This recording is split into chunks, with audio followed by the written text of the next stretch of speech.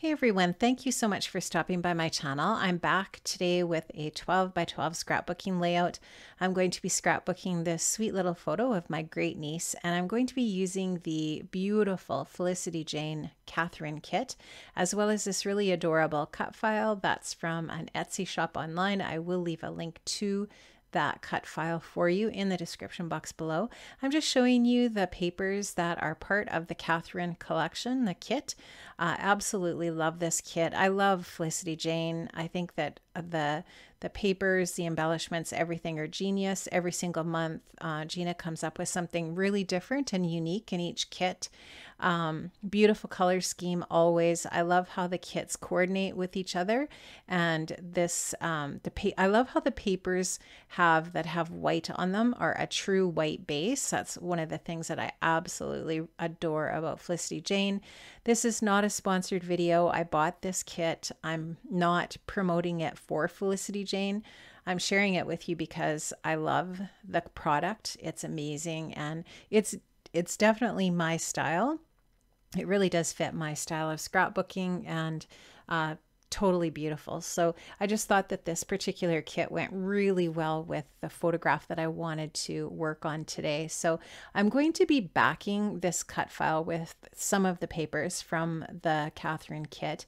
And I'm just going to show you how I go about doing that with one of the stripes on this rainbow and then I will do the rest of the backing off camera, but I just wanted to show you here uh, one of the techniques that you can use to back a cut file if you've never done this before.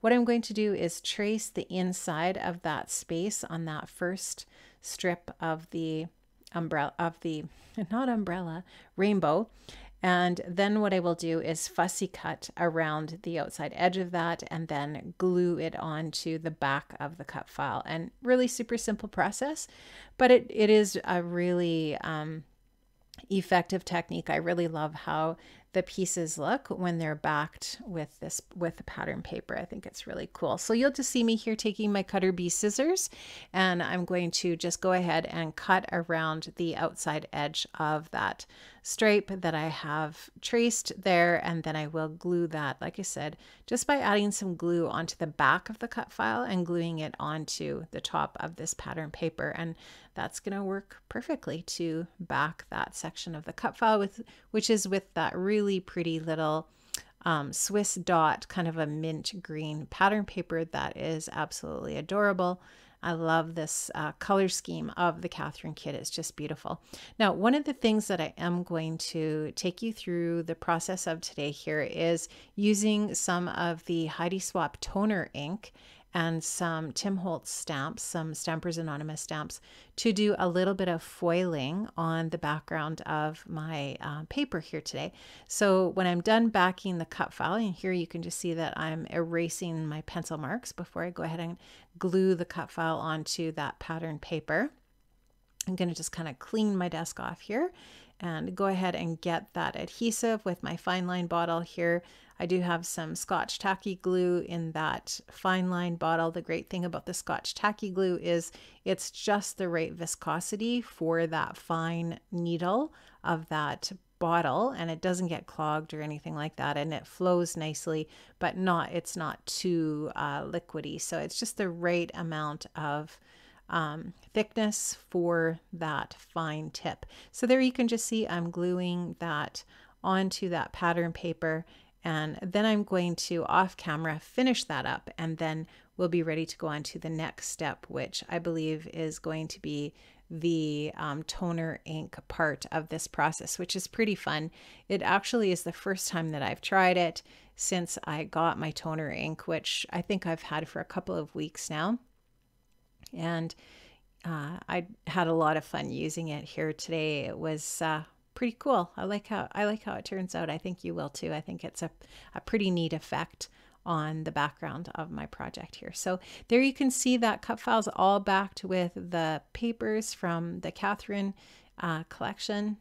And this is sort of where I thought I would put the photograph and I'm going to use a piece of Bazzill texture cardstock, some avalanche cardstock for my base. Now before I do my toner, uh, I did forget that I also have to do a little bit of mixed media here, um, or I didn't have to, but I wanted to.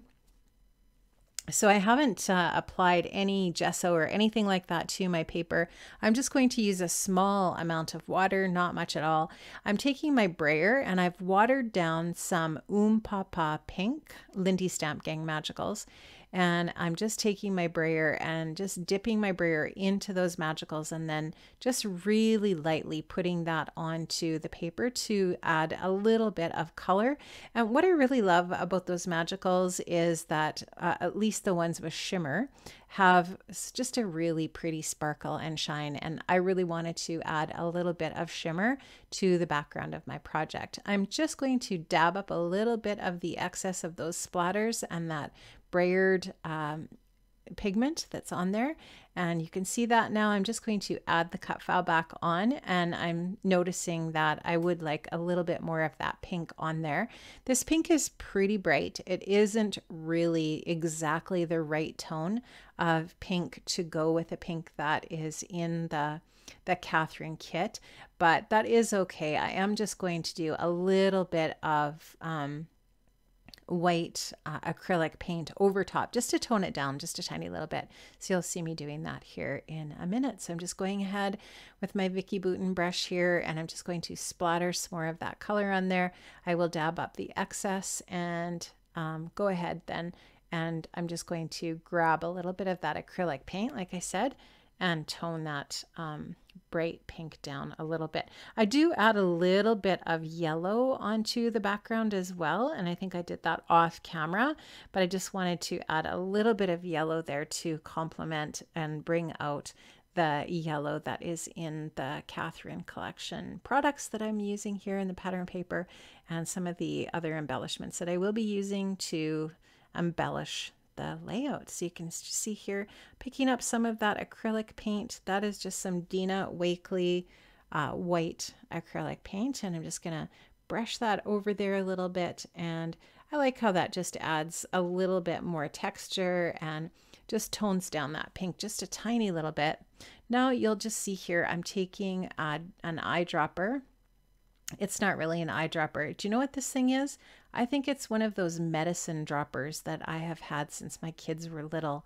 And I am now going to be using that for toner ink.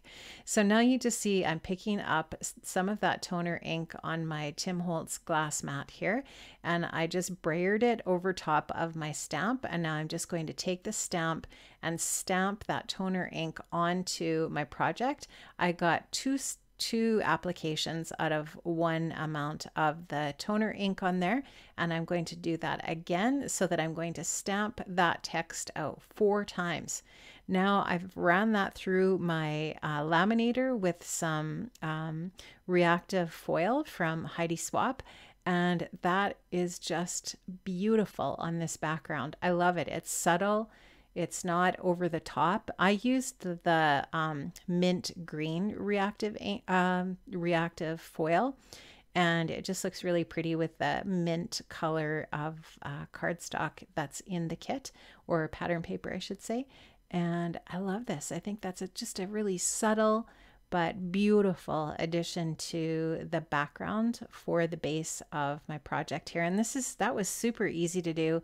I cleaned the ink up with, um, just with a little bit of rubbing alcohol and, or I think it's uh, isopropyl, 90% isopropyl or something like that is what I used. And I cleaned the stamps with my archival, um, or maybe uh, no actually it was StazOn i cleaned it with StazOn uh, ink cleaner to clean up the stamps. So the cleanup was actually pretty simple. Uh, it didn't take me much time.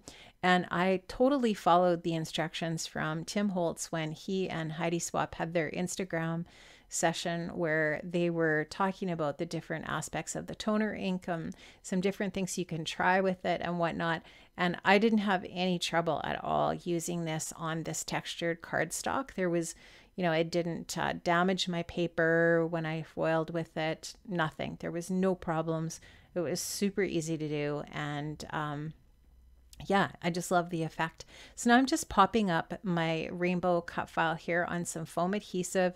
You can see that I've added a layer of tissue paper to my photo mat and uh, I've also matted my photo with one of the journaling cards from the Katherine kit.